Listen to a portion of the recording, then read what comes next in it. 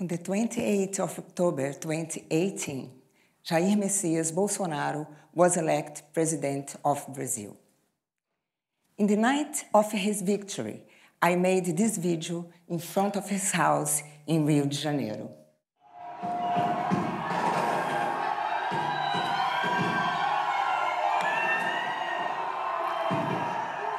Why did Brazilian people, after 13 years of a leftist government, of a Works Party, PT, decide to vote for a far-wing candidate? A man who defends torture, a former army captain that praises the generals who ran Brazil in the times of the Brazilian dictatorship. Two years before the election, Bolsonaro was nobody.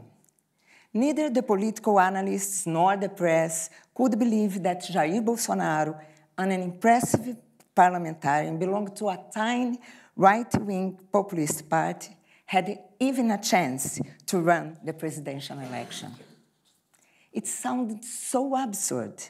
Bolsonaro seemed to be one of the strange candidates that appear from time to time in Brazilian elections my own view of Bolsonaro changed one day in July 2016. I was having a lunch with an important government advisor. Suddenly, he pointed at two very important businessmen who had arrived at the restaurant. My source told me, look at those guys. They are helping Bolsonaro's presidential campaign. I remember that moment I realized that Bolsonaro should be taken seriously. He had the power of money behind him. That was when I decided to write his profile to the magazine I work for, the Piauí. I started to work on the profile of Jair Bolsonaro in July 2016. During the following two months, I met him six times. I want to understand who was this man who wanted to be the president and was backed by some influential people in Brazil. When I was following Bolsonaro on the streets, a crowd approached him. I realized that he was becoming really popular. And then I started thinking, what is happening in the Brazilian society? Our first meeting took place in Bolsonaro's office inside the Congress building. It was mid July 2016. Before I could sit down, Bolsonaro asked me if I liked the pictures on the wall of his office. They were framed photos of the generals who occupied the presidency during the military dictatorship in Brazil from 60s to 80s. It was the first time that I've heard a parliamentarian defend so openly the Brazilian dictatorship. A dark time in Brazil where people were tortured, killed, and democracy uh, was suppressed. After spending many days with Bolsonaro and interviewing various sources, I started to realize what were the main reasons why so many Brazilians supported him. The first reason was order. Bolsonaro talks of orders, defense, and authority. This message appealed to many people who feel that Brazil has become more insecure. In 2016, nearly 60,000 people were murdered in Brazil. Brazilian people were terrified of the increase of violence, in violence. How would Bolsonaro tackle, tackle this issue of growing violence? It's hard to tell. Bolsonaro has no real policy for the security. His only proposal is to arm the population, more headguns.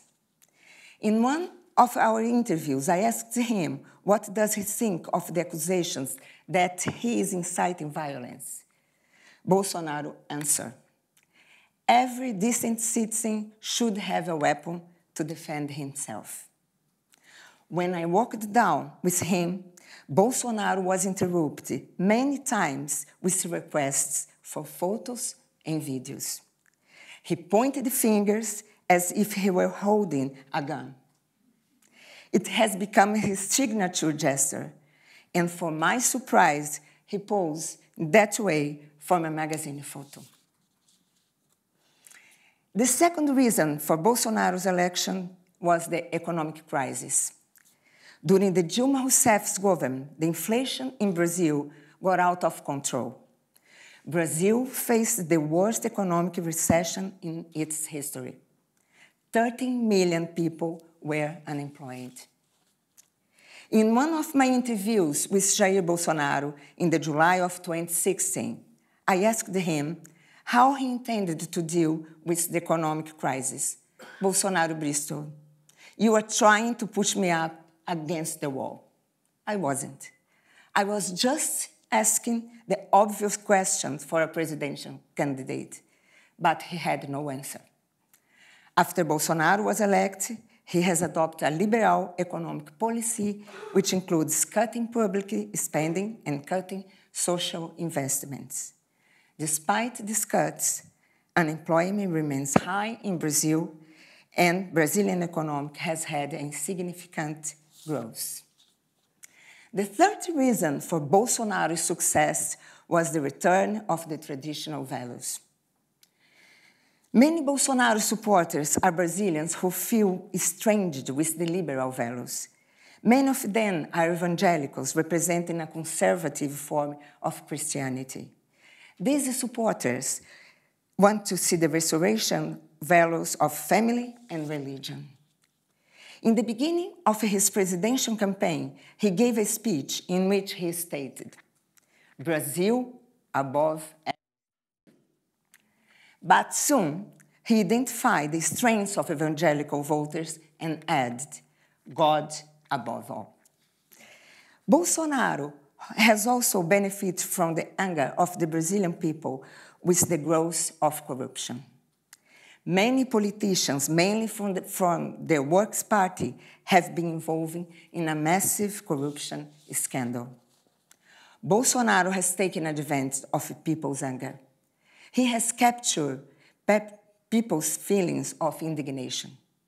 It has to be added that many politicians who supported him have also been deeply involved in corruption. When I talked to him about it, he was pragmatic. If I can only work with the pure ones, I won't get anywhere.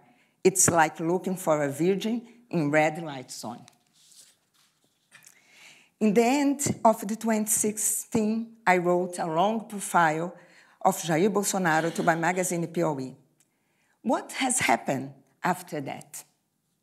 It has become clear that Bolsonaro wants to attack all institutions, the Congress, the judiciary, academic institutions, arts, culture, minorities, and independent media. This attitude was established in our second interview in the morning after our first conversation. Before the interview began, a Bolsonaro secretary approached me and put a camera in front of me. Bolsonaro told me that the interview would be filmed. That's how I will do now. So there is no risk of you all twisting my words, Bolsonaro warned me. I have interviewed many businessmen and politicians, but this was the first and the only time during my whole career that I was being filmed by my interview. Bolsonaro uses social media to attack the press. He accused the moronic press of misinterpreting his words and being dishonest. What does Bolsonaro's election then tell us about the changes in Brazilian society? When I was writing Bolsonaro's profile in 2016, I realized that he is a disruptive politician. Bolsonaro uses hate speech to attack his political opponents in a way that has never been seen in Brazil. Bolsonaro told me that he would not negotiate with the leftist parties. I hope they are swept off the map. Although Bolsonaro can do everything he says, his hate speech has stimulated part of the society to adopt the same violent language. As a result, Brazilian society is now more aggressive, intolerant. This change actually began before Bolsonaro. The Brazilian society has become polarized since the 2014 elections. But in the time of Bolsonaro, the tone became even stronger. Some Bolsonaro's closest allies usually defend the Brazilians' former dictators and their authoritarian acts. It's no wonder that some analysts consider Bolsonaro to be a threat to democracy. But is Bolsonaro really a threat?